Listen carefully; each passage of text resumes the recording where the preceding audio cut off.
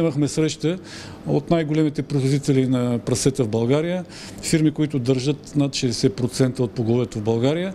И решихме, че е крайно време да направим една голямо съоръжение, кланица с фабрика за разфасовка, която да задоволява нуждите на цялата страна, да произвежда и за износ.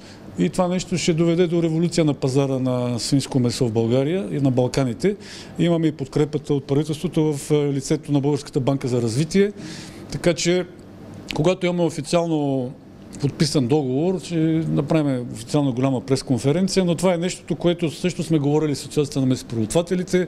България в момента се внасят около 150 хиляди тона свинско месо, и цялото това нещо, което е равно горе-долу на 2 милиона прасета годишна база на 100 кг, ние ще го произвеждаме в България и ще се реализира в България. Най-голямата дупка в нашия търговски баланс, дефицит на селско-стопански продукция е свинско месо, колкото и да е парадоксално. Това е около 5-600 милиона лева годишно и смятаме, че това нещо до две... Значи, този проект ще отнеме поне 3 години. Имали сме срещи с кмета на Русе, той ни подкрепя. А, търсиме а, подходящ терен.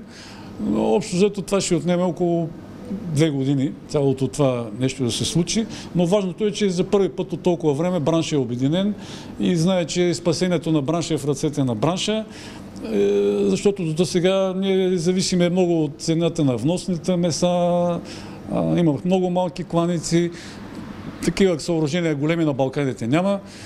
И, и това ще бъде добре не само за свиневътството, ще бъде добре и за другите сектори от животновътството, овцевътството. Едно време по времето на Родопа Импекс ние сме имали огромен пазар в Близкия изток на телета и на овце и смятаме, че този пазар е там и ни чака. Само квотата за Турция ние не можем да изпълним на 20% и то точно за това, защото нямаме, нямаме голямо съоръжение, което да ще имаме и халал линия. Така че общо взето, когато подпишеме договора с Банката за развитие, ще, ще направим, ще ви се обадим отново.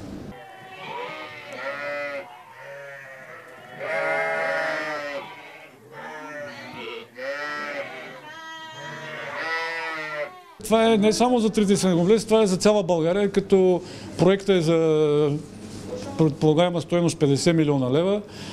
Това нещо по, се случи в близките две години и идеята е да има една кланица в Северна България, в Русе и една в Южна България, около между Плодив и Стара Загора. И пак ви казвам, тя ще обслужва не само свиневътството, ще обслужва и животновътството, овцевътството, и всичките червени меса без птиците.